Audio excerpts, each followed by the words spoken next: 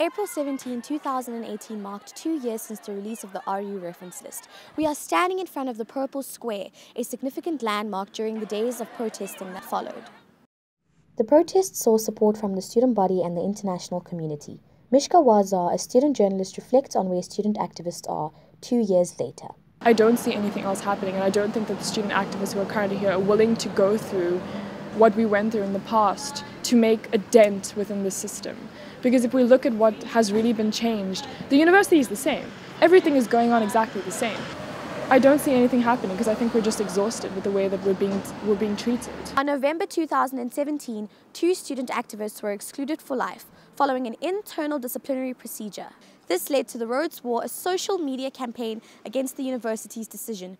We spoke to Yolanda Dyantyi, one of the expelled, who believes that she risked her future for a good cause. And yet, you see, in 2017, 2018, the very same men that we stood up against um, and called for the university to take, um, you know, serious measures into dealing with the issue, they get to move on with their lives. They get, you know, to be hooded, become graduates, and our our careers, our academic careers, essentially are put on hold and are tarnished, even publicly, you know, because the university has gone out, out of its way to criminalize us, even in media.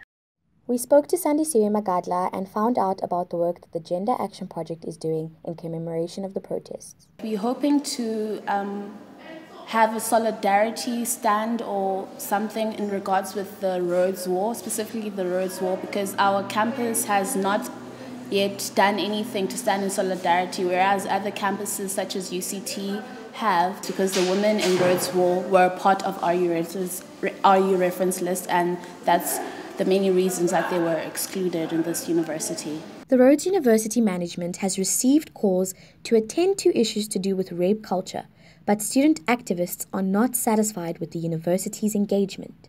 I am Beugene Green, and this is Rhodes University.